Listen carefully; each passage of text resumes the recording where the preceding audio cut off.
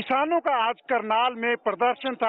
28 अगस्त को जो लाठीचार्ज बर्बर किसानों के ऊपर हुआ था, उसके खिलाफ इस वक्त हम करनाल डिप्टी कमिश्नर ऑफ़िस के बाहर खड़े हैं। किसानों ने घोषणा की थी कि वो डिप्टी कमिश्नर ऑफ़िस को घेरेंगे। और आपको विजुअल दिखा रहे हैं कि हज़ारों किसान यहाँ डिप्टी कमिश्नर ऑफ़िस के बाहर जो है, वो पहुँच चुके हैं करनाल डिप्टी कमिश्नर ऑफ़िस। शाम का वक्त है, किसान जो है धीरे धीरे अनाज मंडी जो करनाल की है, वहाँ से प्रोटेस्ट मार्च करते हुए पैदल मार्च करते हुए आप देख सकते हैं, ये तमाम सड़कें जो है भारी पड़ी हैं किसानों से। यहाँ तमाम सुरक्षा के इंतज़ाम है। बीएसएफ है रैपिड एक्शन फोर्स है, हरियाणा पुलिस है। तमाम सुरक्षा के इंतज़ाम हरियाणा सरकार ने किए हैं, परंतु किसान यहाँ हज़ारों की संख्या में पहुँच रहे हैं। बता दें कि 28 अगस्त को जो लाठीचार्ज किसानों के ऊपर यहाँ करनाल में हुआ था, जब बीजेपी की एक मीटिंग का विरोध किसान करने पहुँचे थे, जो किसानों ने पहले ही घोषणा की हुई है कि बीजेपी का वो बहिष्कार करेंगे। बीजेपी के खिलाफ प्रोटेस्ट करेंगे। तीन खेती कानूनों के खिलाफ नौ महीने से ज़्यादा समय हो गया। किसान दिल्ली के Singhu border Tikri border Ghazipur border पे प्रोटेस्ट कर रहे हैं। तीन खेती कानूनों को रद्द करवाने की मांग कर रहे हैं। और हरियाणा और पंजाब और उत्तर प्रदेश वेस्टर्न उत्तर प्रदेश, इस आंदोलन का जो है, वो धुरी बने हुए हैं। हरियाणा में खासकर जो आंदोलन है, वो काफ़ी तीखा आंदोलन इस वक्त चला है। और 28 अगस्त को जब किसान प्रोटेस्ट कर रहे थे तो बर्बर लाठीचार्ज हरियाणा पुलिस की तरफ़ से किया गया था। बहुत सारे किसानों को चोटें आई और उसमें एक किसान की मौत भी लाठीचार्ज से, कथित तौर से हुई है और किसान मांग कर रहे हैं आज के इस प्रोटेस्ट के ज़रिए कि जो एसडीएम उस वक्त थे यहाँ, उनके ऊपर मुकदमा दर्ज किया जाए और जो किसान की मौत हुई है उसको 25 लाख रुपए मुआवजा, उसके बेटे को नौकरी और तमाम जो किसान नेता हैं जिनके ऊपर मुकदमे दर्ज हुए हैं 28 अगस्त को, वो मुकदमे रद्द किए जाएँ। तो अपनी घोषणा के मुताबिक किसान जो हैं, डिप्टी कमिश्नर ऑफ़िस पहुँच गए हैं। बता दें कि दिन में बातचीत हुई थी किसान नेताओं और प्रशासन के बीच। परंतु किसान नेताओं ने दो टूक कह दिया कि जो एसडीएम है, उसके ऊपर जो है मुकदमा दर्ज करना पड़ेगा, उससे कम उन्हें मंजूर नहीं है। तो प्रशासन ने वो किसानों की मांग ठुकरा दी। उसके बाद किसानों ने जो प्रोटेस्ट मार्च था, उसकी घोषणा की कि वो अपने तय कार्यक्रम के अनुसार प्रोटेस्ट मार्च करेंगे। और प्रोटेस्ट मार्च करते हुए किसान जो है, यहाँ डिप्टी कमिश्नर ऑफ़िस के बाहर जो है पहुँच गए हैं। हज़ारों की तादाद में आप देख सकते हैं गेट पे सिक्योरिटी इंतज़ाम आप देख सकते हैं BSF rapid action force Haryana police तमाम जो सिक्योरिटी के इंतज़ाम हैं वो किए गए हैं। हाथों में किसान यूनियंस के झंडे लेके किसान जो हैं यहाँ डिप्टी कमिश्नर ऑफ़िस के बाहर पहुँच चुके हैं। बता दें किसान नेताओं ने आ, किसानों से अपील की है कि इस सारे प्रोटेस्ट को जो है वो पीसफुल रखा जाए और पीसफुल तरीके से ही किसान जो है Uh, जो अनाज मंडी है, वहाँ से यहाँ तक पहुँचे हैं। हालाँकि पुलिस ने तमाम इंतज़ाम किए थे किसानों को रोकने के लिए। जगह जगह रेत बजरी बजरी से भरे हुए ट्रक जो है, वो लगाए गए थे, बसें लगाई गई थी। भारी पुलिस फोर्स तैनात की गई थी किसानों को रोकने के लिए। पर वो तमाम इंतज़ाम जो है, उन इंतजामों को धत्ता बताते हुए किसान यहाँ पहुँच गए हैं। डिप्टी कमिश्नर ऑफ़िस के बाहर। तो फ़िलहाल किसानों का धरना जो है, अब तय कार्यक्रम के अनुसार यहाँ शुरू हो गया है। किसान अपनी मांगों पर अड़े हैं, जिनमें मेन मांग है एक तो किसान जिसकी मौत हुई है लाठीचार्ज से, उसको 25 लाख रुपए मुआवजा और बेटे को नौकरी और जो एसडीएम उस दिन था जिसने लाठीचार्ज के आदेश दिए, जिसका कथित वीडियो भी एक वायरल हुआ, जिसमें वो किसानों के सिर फोड़ने के आदेश देता हुआ दिख रहा था। उसके ऊपर मुकदमे की मांग जो है, किसान जो है, कर रहे हैं। तो फ़िलहाल यहाँ किसान जो है, पहुँच चुके हैं। सैकड़ों की तादाद में किसान जो है, हाथों में झंडे लिए, ब्लैक फ्लैग लेके किसान जो है, यहाँ पहुँच गए हैं। डिप्टी कमिश्नर करनाल के ऑफ़िस के बाहर। अब देखना है कि क्या प्रशासन और किसान संगठनों के बीच होता है बातचीत। दोबारा एक बार ज्यूम होती है या नहीं? किसान लगता है यहाँ की लंबी लड़ाई के मूड में है, यहाँ करनाल में। फ़िलहाल किसान अपने तय कार्यक्रम के अनुसार यहाँ करनाल डिप्टी कमिश्नर ऑफ़िस के बाहर डट गए हैं। योगेंद्र यादव हमारे साथ हैं। यादव जी, किसान जो है, तय कार्यक्रम के अनुसार यहाँ पहुँच गए हैं। अब क्या संयुक्त किसान मोर्चा की क्या प्लानिंग है? इस आंदोलन को खासकर जो करनाल में है, जिन मांगों को लेकर आंदोलन हो रहा है। करनाल के किसान ने अपने संकल्प को सच करके दिखा दिया है।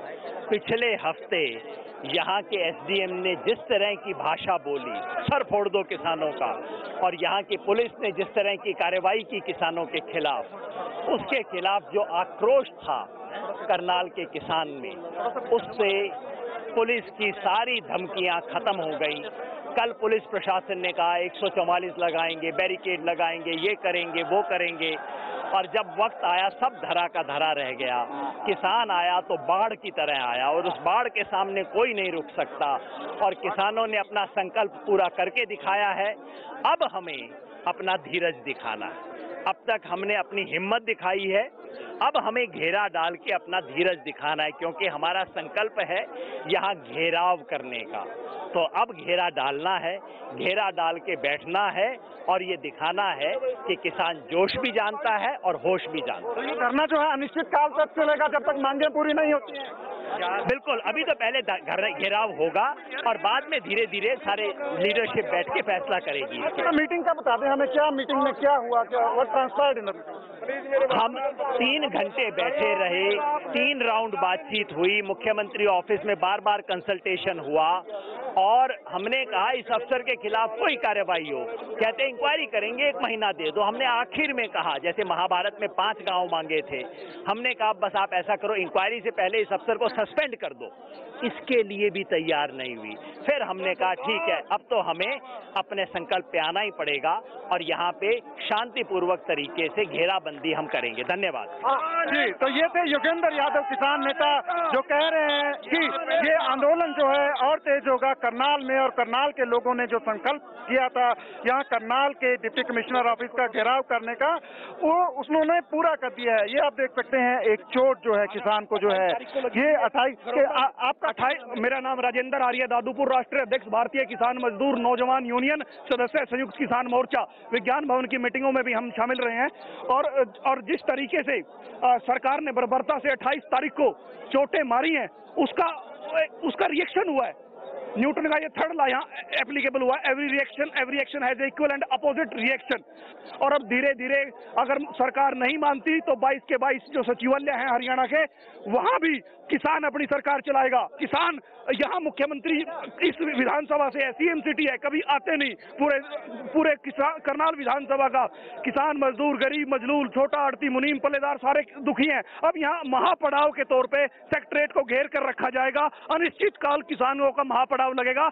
और अगर सरकार नहीं मानती तो पूरे देश में यही यही होगा। आप देख सकते हैं ये किसान है इनकी बाजू जो है ये फ्रैक्चर है अट्ठाईस 28 तारीख को जो लाठीचार्ज हुआ था। और दूसरी तरफ़ भी किसान हमारे साथ हैं। क्या नाम है आपका? मेरा नाम गुरजंत सिंह हल्का संद गाँव खिदराम जिला करनाल। हम नेथे बैठे थे, प्रशासन के मंजूरी से बैठे थे कि आप करनाल में सीएम आना करनाल से 15 किलोमीटर दूर हम बैठे थे और जब बैठे थे तो हमारी मीटिंग हुई प्रशासन से। वो बोले भी आप करनाल में एंट्री नहीं कर सकते।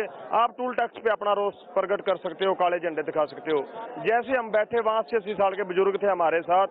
प्रशासन ने इतनी अपने तरीके से हमें पीटने लगे कि इंसानियत खत्म ही हो चुकी थी उस दिन। प्रशासन ने पूरा प्लान किया था। जैसे आपने वो वीडियो देखी होगी कि दो घंटे पहले अफसर की वीडियो वायरल होगी कि इनके सिर फोड़ दो। और जैसे हम बैठे, उनका प्लान था मेरे सिर फोड़ने का और मैंने आगे हाथ किया और जैसे ही बारह टांके और ये बाजू फ्रैक्चर आई है। और एक साथ मेरे अस्सी साल का बुज़ुर्ग था। वो तो कहता था कि मैं आपकी पिता की उम्र का हूँ मेरे को तो छोड़ दो। वो बोले हम नहीं बाबा तेरे को छोड़ेंगे। जहाँ वहीं से लंगर छकते थे।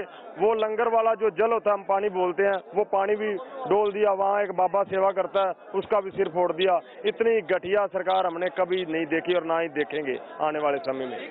बचाने के चक्कर में सरकार ये एक आयुष किसान- किसान ऑफिसर है उसको बचाने के चक्कर में सरकार ये इतना बंटाधार कर दिया पूरे दे पूरे हरियाणा में अनिश्चितकालीन अघोषित अघोषित आपातकाल पूरे हरियाणा में लगा हुआ है और मैं राष्ट्रपति महोदय से प्रार्थना करता हूँ कि हरियाणा में राष्ट्रपति शासन जल्द से जल्द लागू होना चाहिए। राष्ट्रपति महोदय इस अघोषित आपातकाल को खत्म करे। एक आयुष सिन्हा एक एसडीएम जिसकी पृष्ठभूमि आरएसएस परिवार से है, उस अफसर को बचाने के लिए उसको सस्पेंड करने से भी हमने चार राउंड वार्ता करी डीसी और एसपी से।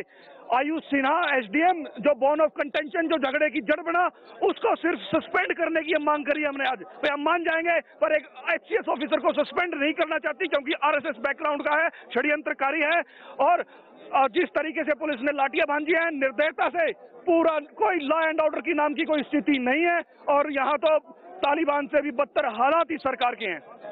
जी तो ये किसान थे जो 28 अगस्त को जो लाठीचार्ज हुआ था। उसमें जो घायल हुए हैं, फ़िलहाल युगेंद्र यादव किसानों के नेता यहाँ थे, उन्होंने कहा है कि ये धरना अनिश्चितकाल के लिए चलेगा, आज से शुरू है, और किसान यहाँ जुटेंगे कल से। ये धरना जो है लगातार चलेगा। जब तक किसानों की मांगे पूरी नहीं होती, जिसमें मेन मुख्य मांग है, एसडीएम। एसडीएम जो 28 अगस्त को जो यहाँ ऑफिशिएट कर रहे थे, उनके ऊपर जब तक मुकदमा दर्ज नहीं हो जाता, और बाकी मांगे जिसमें साथ हैं, जो किसान जिसकी मौत हुई है, उसको 25 लाख मुआवजा, उसके परिवार को, उसके बेटे को नौकरी और जिन किसानों के ऊपर मुकदमा दर्ज हुआ है, वो वापिस करना है। तो फ़िलहाल किसान जो है, अपने तय कार्यक्रम के अनुसार यहाँ डिप्टी कमिश्नर करनाल ऑफ़िस के बाहर जो है, मिनी सेक्रेटेरिएट के बाहर पहुँच गए हैं और धरना जो है यहाँ शुरू हो गया है। कैमरा पर्सन संदीप काला के साथ सचिन कुमार, एबीपी न्यूज़, करनाल।